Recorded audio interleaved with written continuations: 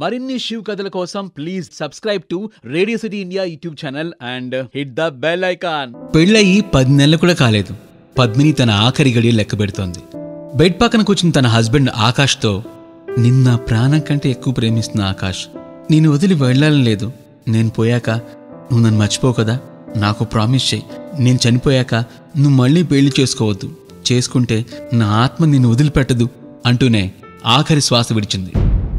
పద్మిని పోయాక Akash two years వరకు ఏ అమ్మాయి వైపు కన్నెత్తి కూడా చూడలేదు. కానీ ఓ రోజు మానస్తో పరిచయం అయింది ఆ పరిచయం ప్రేమగా మారి త్వరలోనే పెళ్ళి కూడా అయిపోయింది.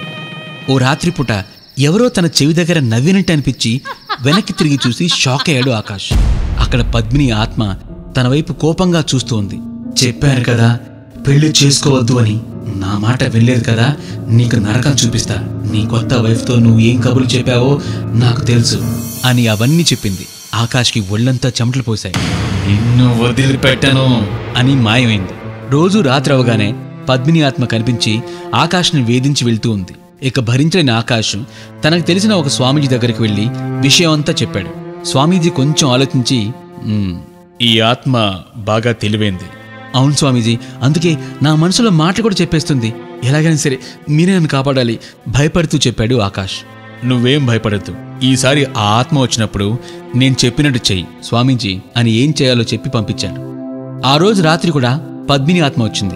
కానీ ఈసారి ఆకాష్ భయపడలేదు. నువ్వు తెలివైన దానివే. నేను నా వైఫ్ని కూడా వదిలేస్తాను. కానీ నువ్వు నా క్వశ్చన్కి ఆన్సర్ చేస్తేనే చెప్పలేకపోతే నువ్వు నన్ను ఎప్పటికీ ఇబ్బంది పెట్టకూడదు. సరే అంది పద్మిని ఆత్మ.